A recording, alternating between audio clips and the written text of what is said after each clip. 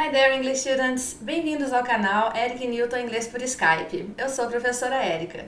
Nossas aulas são focadas em conversação e para os níveis iniciante, intermediário e avançado. Hoje eu vou falar sobre a expressão call it a day. Let's get started.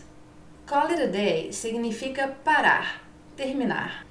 Repita as frases em inglês.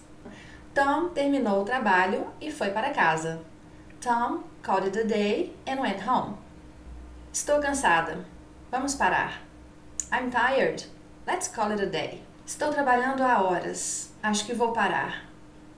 I've been working for hours. I'm gonna call it a day. Nós estávamos preparados para trabalhar mais algumas horas antes de parar.